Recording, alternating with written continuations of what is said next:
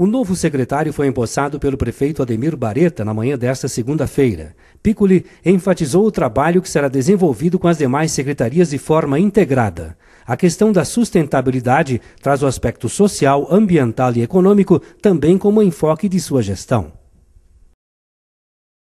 Sim, esta é a preocupação. Agora, num primeiro momento, com a criação da, da secretaria e assumindo a pasta, eu vou conversar com a Secretaria de Meio Ambiente a nível de Estado na, na SEMA, para que seja acertado a competência e as ampliações de competência para desenvolvimento de indústria, parque industrial, do, dos loteamentos também.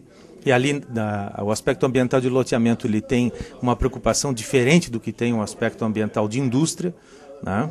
na área urbana e também na, na, no interior.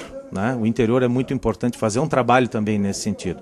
Então, a sustentabilidade ela tem esse aspecto de, de ter que necessariamente trabalhar os três pontos: o, o ambiental, o econômico e o social.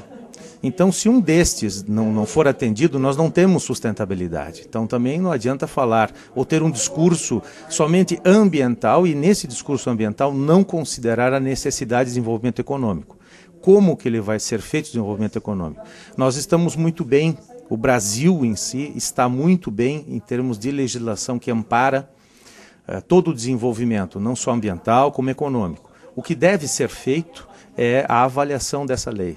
É assim que nós temos que, que trabalhar. Então, o desafio hoje é ao longo de todo, todas essas décadas de desenvolvimento que nós tivemos, fazer uma adequação do que já tem e trabalhar de forma sustentável também os novos projetos que vêm. Né? Se trabalhava uns, uns, uns 20 anos, umas duas décadas atrás, por exemplo.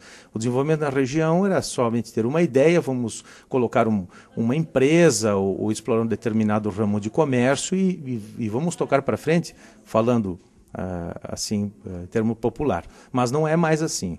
Hoje há uma necessidade de ver a viabilidade, de sustentabilidade desse empreendimento. E aí, conversando com o secretário Silvio Quies, uh, nós acertamos que vamos fazer um trabalho conjunto, né?